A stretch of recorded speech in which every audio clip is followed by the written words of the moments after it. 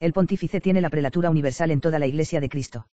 Se afirma también que ese vicario de Cristo goza de la prelatura universal en toda la Iglesia de Cristo. Y así se lee en el concilio de Calcedonia que todo el sínodo aclamó al Papa León diciendo, que León, patriarca santísimo, apostólico y ecuménico, es decir, universal, viva por muchos años. Y Crisóstomo en Super dice, el Hijo concedió a Pedro universalmente la potestad que tiene el Padre y el mismo Hijo y dio a un hombre mortal la autoridad de todo lo que hay en el cielo, cuando le dio las llaves para extender la iglesia en todo el orbe. Y en su homilía 85 Super Loanem dice, a Santiago le fija un lugar, mientras que a Pedro le ordena maestro y doctor de todo el orbe.